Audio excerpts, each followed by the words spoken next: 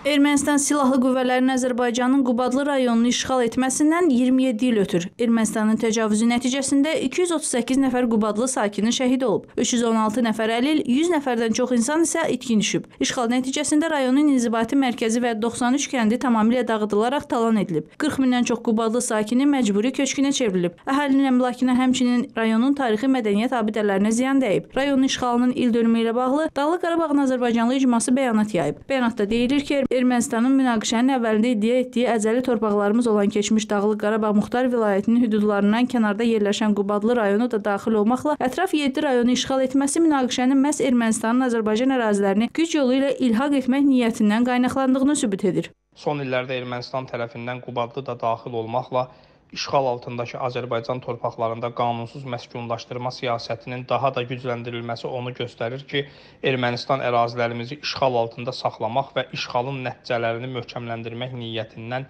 əl çəkməyib və münaqişənin sülh yolu ilə həllində maraqlı deyil.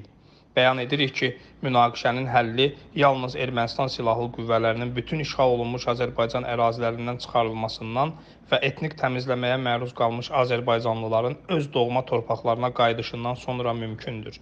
Bütün məcburi köçkünlər kimi Qubadlılar da öz doğma torpaqlarına geri dönəcəklər.